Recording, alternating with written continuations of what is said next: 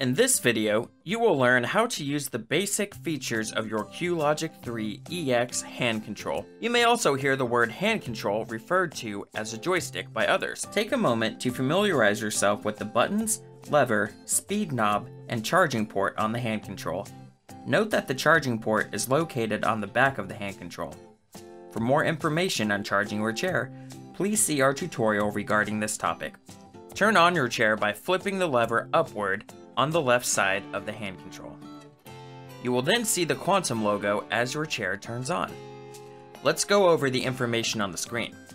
On the top left corner of the hand control display, you will see a green circle, shown here. This circle will change colors to alert you of drive or function inhibits. A green circle means that your chair speed is full and not reduced and that you are able to drive up to the top speed offered on your chair. A yellow circle with a dash indicates a reduced speed restriction. A red circle with an X indicates that the chair is in drive lockout. This means that something is preventing the chair from driving. This could be due to the angle and positioning of the seat, or a technical issue, such as the motor not being engaged. The green circle with an eye means that your seat is currently elevated with the iLevel feature engaged on the chair. When the seat is elevated, your driving speed will be reduced. The speed varies depending on which model of chair you are using. Not all Quantum Power wheelchairs offer the iLevel feature or have it equipped. Refer to your power wheelchair supplier for more information. The time is displayed in the top middle of the screen directly above the drive profile name, which in this case is indoor slow. Underneath the drive profile name is the speedometer to let you know how fast you are traveling in your chair. Below the speedometer is the odometer. On the right side of the display is the speed indicator. This meter is a visual indicator of how fast your chair will move. To decrease the top speed of the chair, scroll down on the speed knob. To increase the top speed of the chair, scroll up on the speed knob. Your chair may be equipped with different drive profiles.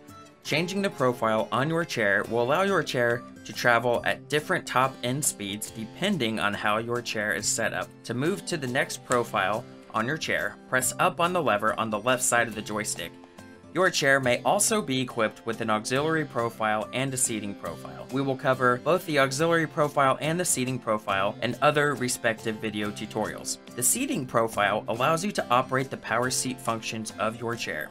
The function of the seat that you are going to operate will be highlighted in yellow.